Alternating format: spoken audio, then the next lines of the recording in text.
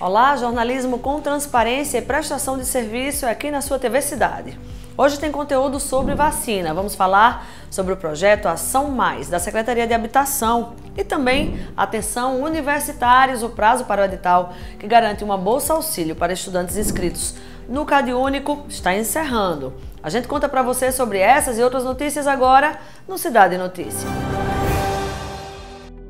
E com o apoio dos pontos móveis, a população pessoense pode ter acesso às vacinas que protegem contra dengue e influenza de segunda a sexta-feira até às 21 horas. O horário ampliado possibilita a continuidade da assistência das pessoas que não conseguem ir até uma sala de vacina durante o horário comercial.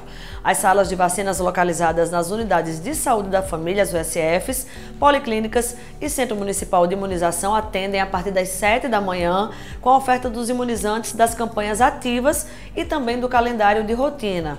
Para vacinação é importante apresentar um documento oficial com foto ou registro da criança ou adolescente, o cartão do SUS e o cartão ou caderneta de vacina. Vamos ver os principais pontos de vacinação. Temos aí uma arte para você acompanhar. Para as vacinas de campanha, dengue, Covid-19 influenza.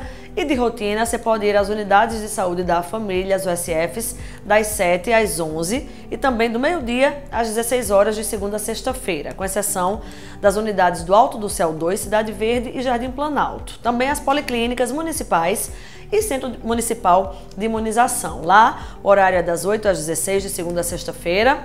Tem também a oferta de vacinação, essa apenas contra influenza e dengue. Você pode se dirigir ao Home Center Ferreira Costa. Lá o horário é meio-dia às 21 horas de segunda a sexta-feira, das 8 às 16 aos sábados. E também tem vacina no Shopping Sul, tá? O horário meio-dia às 21 horas de segunda a sexta-feira, das 10 às 16 nos sábados, tá? Tem também no Shopping Tambiá, o horário é do meio-dia às 20, de segunda a sexta-feira, e das 9 às 16 aos sábados. Ainda para as pessoas com dificuldade de mobilidade, a Prefeitura oferece a vacinação domiciliar. O agendamento é fácil, é feito pelo 839 8645 7727. Esse número é apenas WhatsApp, tá? O horário é de 8 às 16 horas, de segunda a sexta-feira. E a Prefeitura de João Pessoa marcou presença mais uma vez no complexo habitacional Vista Alegre, no bairro Colinas do Sul, levando o projeto Ação Mais para inscrever moradores dos residenciais Vista Alegre 5 e 6 em programas sociais. A ação aconteceu na manhã dessa quarta, dia 15, onde foram atendidas mais de 100 pessoas em um trabalho que é realizado pelas Secretarias de Habitação Social, também de Desenvolvimento Social e de Direitos Humanos e Cidadania.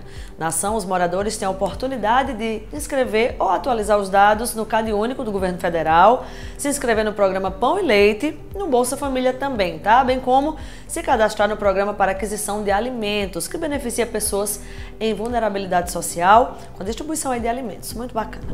A secretária de Habitação de João Pessoa, Socorro Fala um pouco mais sobre essa iniciativa. Vamos ver. O projeto habitacional do prefeito Cícero, ele engloba não somente a pedra e cal, se preocupa com o terreno, com a localização do imóvel, com o imóvel, mas se preocupa também com as famílias que lá vão morar. Esse projeto mais, ele está levando as famílias ao Bolsa Família, está levando o programa do pão e leite, que é para contribuir na alimentação. Está levando o Cade Único para as pessoas serem cadastradas nos diversos programas do governo federal. Está levando todo um patamar de situações onde as famílias, além de ter a sua residência digna, sua escritura pública na mão, ela também tem os benefícios sociais em parceria com a Secretaria de Desenvolvimento Social e em parceria com a Secretaria de Direitos Humanos. Estamos sempre juntos nessa situação de melhorar a vida das, das famílias, cuidar das famílias, que é o lema do nosso gestor maior Cícero Lucena.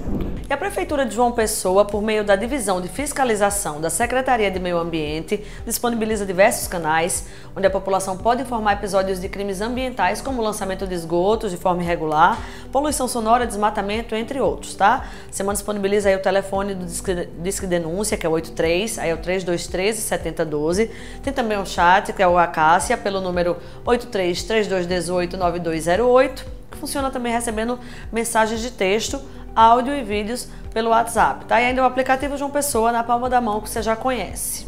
Vamos agora à previsão do tempo para essa sexta-feira de chuva durante o dia e também à noite, tá? Mínima de 24, máxima de 30 graus. Já a tábua das marés indica que às 6h22 a maré vai estar com 1 metro. Por volta do meio-dia 25, alcança 2 metros e baixa à noite, às 18h42, ficando com 70 centímetros. Vamos para o intervalo rapidinho, daqui a pouquinho a gente volta. Fica por aí.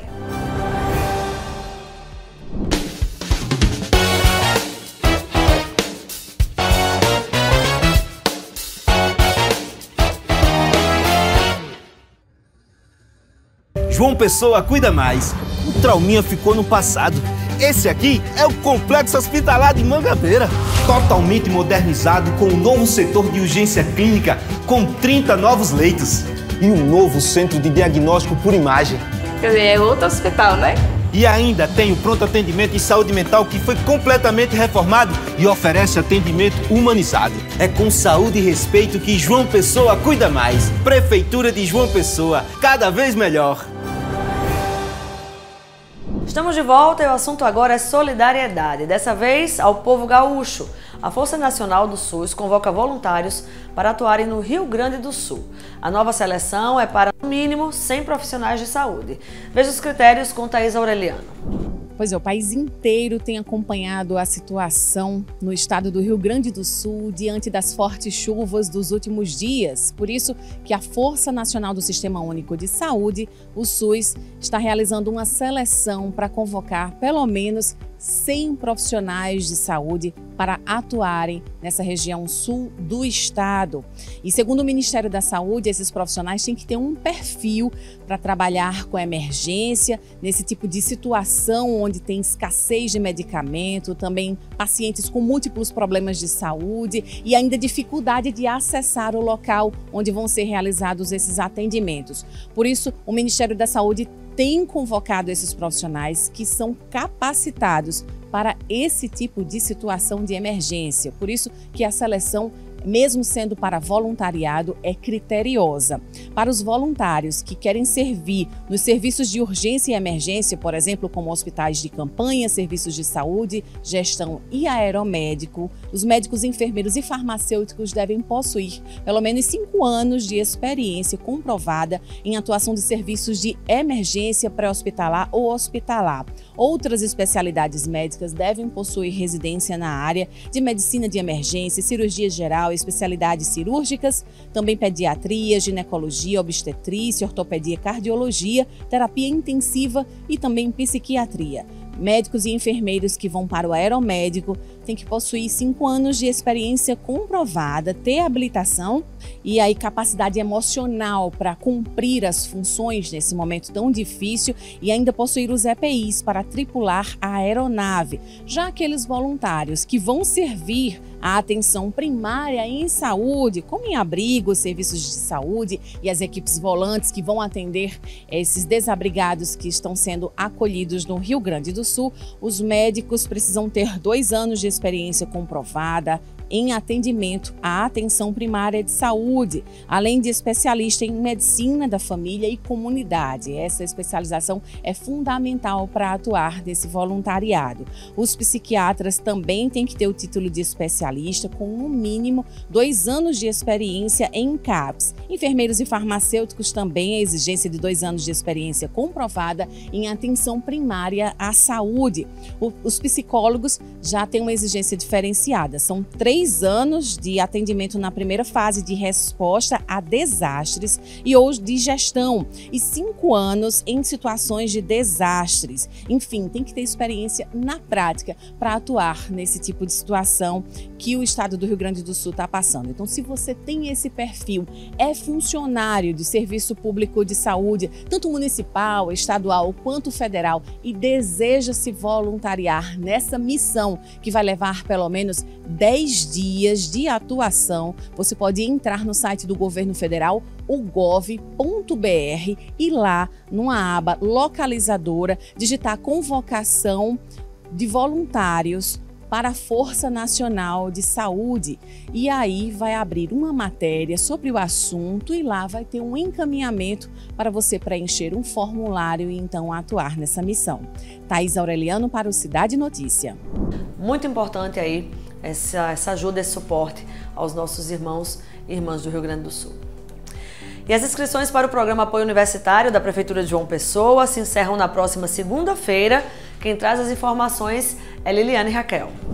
As inscrições para o programa Apoio Universitário encerram na próxima segunda-feira. A ideia é fornecer suporte financeiro para os estudantes em vulnerabilidade social matriculados em instituições públicas ou privadas. Esse ano são oferecidas 300 vagas e as inscrições devem ser feitas exclusivamente através da plataforma João Pessoa na palma da mão.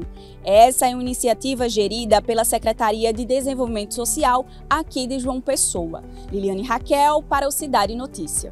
Tem que correr para não perder o prazo, é uma ajuda aí muito importante. E a Prefeitura de João Pessoa segue ampliando as linhas de cuidados ofertadas na saúde da capital, oferecendo aí uma assistência cada vez mais especializada. Por isso, recentemente foram adquiridos novos aparelhos para a realização de exames de endoscopia e colonoscopia nas unidades hospitalares que compõem a rede municipal. Entre eles, o Hospital Municipal Pronto Vida, que em oito dias realizou 72 exames da área. Os exames começaram a ser realizados no dia 6 de maio e até a última terça, dia 14, foram feitas 54 endoscopias e 18 colonoscopias. Muito bacana, né? No total de endoscopia, 49 exames foram em pacientes externos e 5 em pacientes internos. Já as colonoscopias, apenas uma foi em paciente internado na unidade hospitalar. Os demais, aí foram pacientes que tiveram seus exames marcados pela central de regulação. Lembrando que é possível solicitar exames de endoscopia e colonoscopia por meio do aplicativo João Pessoa na palma da mão, mais uma vez ele. Lembrando que os exames são realizados nos hospitais municipais Pronto Vida, Ortotrauma, que também recebeu novos equipamentos, e Santa Isabel, além da rede complementar. E três mostras competitivas movimentam o segundo Festival Internacional de Cinema de João Pessoa, é o Fest Cine JP. Quem traz os detalhes é Juliana Teixeira. Pois é, uma semana de exibição de filmes, ao todo são 42 produções, curta-metragens, longa-metragens, produções paraibanas, brasileiras e também de outros países da América do Sul, da América Central, da América do Norte e até da Europa. Este ano, o Festcine JP recebeu 665 inscrições. Todos os trabalhos, todos os filmes foram avaliados pelo cineasta Eduardo Valente, que é vencedor do prêmio Cine Foundation do Festival de Cannes de 2002 com o filme, o curta-metragem Um Sol Alaranjado. Também participaram aí da avaliação desses filmes a pesquisadora Janaína Oliveira e Maria Paula Lorgia, que é gestora cultural e curadora de cinema.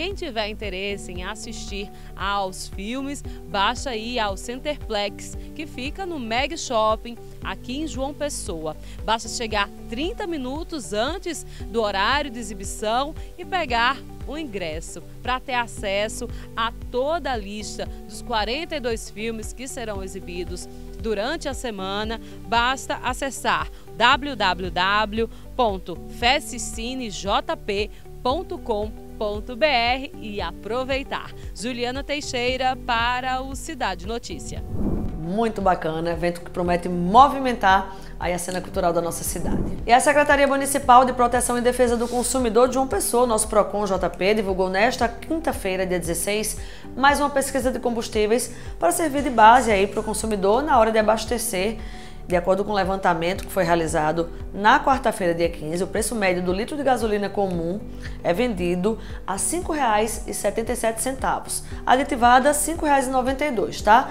O levantamento mostra ainda que o preço médio do álcool comum é praticado a R$ 4,19, o diesel comum R$ 5,67 e o diesel tipo S10 está sendo comercializado a R$ 5,74. Já o gás natural tem média de R$ 4,72. Para saber dos detalhes, tem pesquisa completinha aí. Você acessa o site do Procon, proconjp.pb.gov.br. Tem também do João Pessoa, tá? joaopessoa.pb.gov.br. E hoje tem dica TVC para você que gosta de música autoral. Vale a pena acompanhar o programa Play. Confira. Fala família, Arthur aqui próximo episódio do Play é comigo, então fica ligado. Fala que não percebeu que culpado fui eu e que não entendeu que você nunca me quis. Pode deixar que eu não vou buscar, não precisa me entregar o que ficou. Play é muito massa, vale muito a pena acompanhar. Isso Cidade Notícia vai ficando por aqui. Lembrando que você acompanha o Play e todos os nossos programas aqui na, na TV, no canal 6.3, mas também nos acompanha no YouTube, tá? Tem nossa programação completinha todos os episódios e todos os produtos estão lá postados para você acompanhar na íntegra. Nos segue também no Instagram, lá tem muita informação e também bastidores. Tchau!